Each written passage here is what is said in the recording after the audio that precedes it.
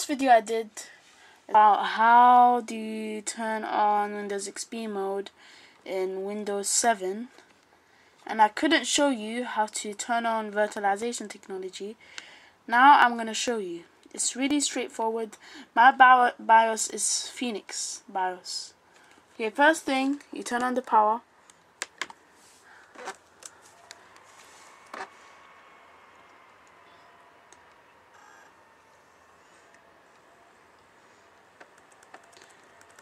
then you press whatever key that takes you to your BIOS and then you go to system configuration. And here is it. Virtualization technology. I have a HP Compaq computer.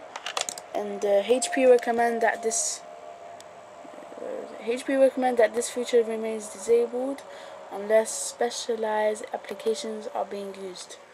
It will be in disabled like this. Um, Will be disabled. You have to enable it. That's how simple it is. Thank you for watching and goodbye